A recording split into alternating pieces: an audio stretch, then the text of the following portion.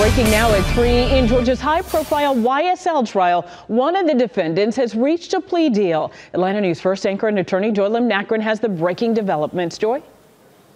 Well, Tracy, Quamarvious Nichols, aka Qua, has taken a plea deal. So he pleaded guilty to one count of conspiracy to attempt to violate Georgia's RICO statute.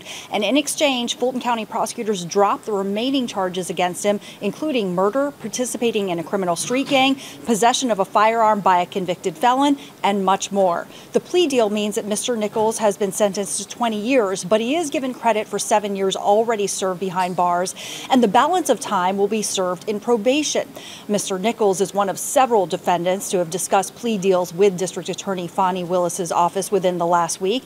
We will be watching for the possibility that other plea deals could follow, but two attorneys for two of the defendants said that their clients would not accept plea deals and would continue fighting for their innocence. They include Shannon Stillwell as well as Deamonte Kendrick, aka Yak Gotti, both of whom are charged with murder. Now, also very important to note that Judge Paige Reese Whitaker has not declared a mistrial, saying that she had considered doing so so. And legal observers say that the plea deal indicates a mistrial is not imminent at this time. Tracy?